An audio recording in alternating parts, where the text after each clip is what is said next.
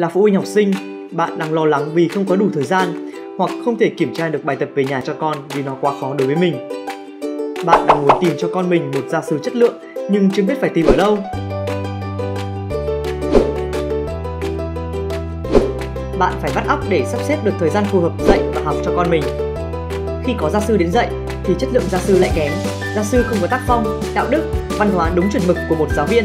Bạn đừng lo, giờ đây đã có gọi gia sư.vn Gọi gia sư.vn là một mô hình ứng dụng gọi gia sư trực tuyến thông qua các thiết bị như điện thoại smartphone, máy tính bảng, laptop, máy tính để bàn.